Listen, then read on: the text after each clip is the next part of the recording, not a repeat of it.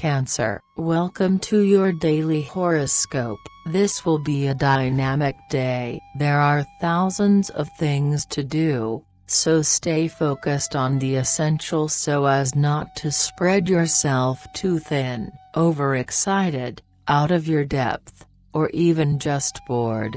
There's no happy medium, you keep up regardless. Try to get some balance in your everyday life. Mood You're going through a phase of deep thought, which will allow you to start refocusing on yourself. Love You will be in luck, especially if you were born in the first decan. Now is the time to look forward to new encounters. Harmony and love that's your program. Money A possibility of promotion or change in social standing will be announced. Your confidence will be justified. Work You'll be able to use your convictions to persuade the people you work with, and your elation will spread to those around you. Have a nice day Cancer, see you tomorrow.